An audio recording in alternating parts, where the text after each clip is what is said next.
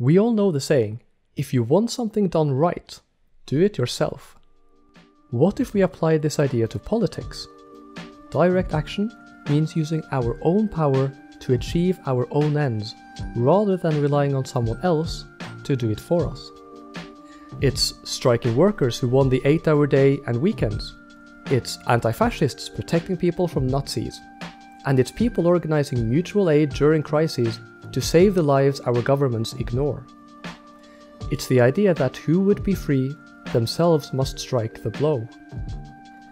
The people in power, capitalists and their politicians, don't really care what we think. They don't care because they don't have to. And they don't have to because we don't have power over them, they have power over us.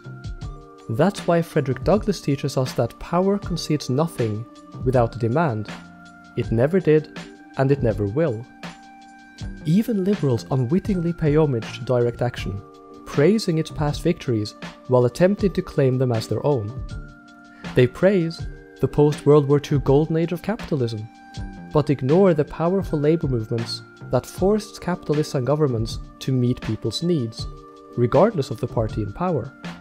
They praise former colonies achieving national liberation, but ignore the movements and the tactics that won it. They praise the end of apartheid, but turn up their noses at people using the same boycott tactics today.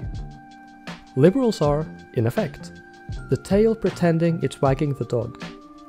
Silencing the working class social movements that changed the world like this is part of a little something we like to call bourgeois ideology. Liberals may object that the magical march of reason through bourgeois parliaments will work best in the end, with arguments like the British Empire freeing its slaves out of moral goodwill. To that, we respond as Douglass did that the slaves of the West Indies did fight for their freedom, and the fact of their discontent was known in England, and that it assisted in bringing about that state of public opinion which finally resulted in their emancipation. And if this be true, the objection is answered. State politics aren't some neutral playing field. They express the balance of social forces at play.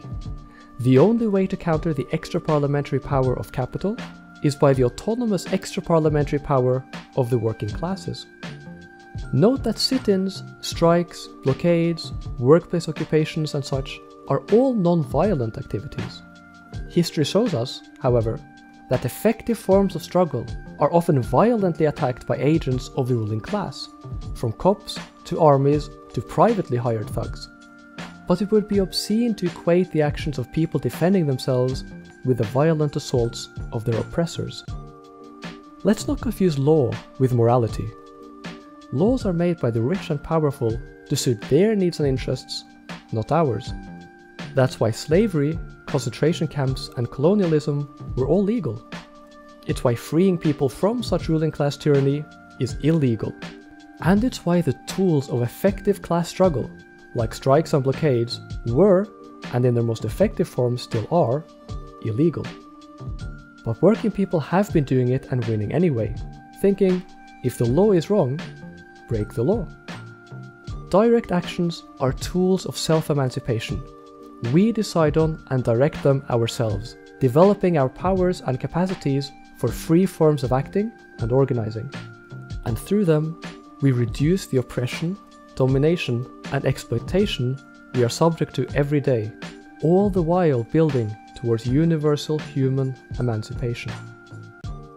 Although the corporate media don't tell us, ours is an age of renewed popular struggle, with the number of mass protests worldwide growing by roughly 11.5% every year between 2009 and 2019, constantly getting larger.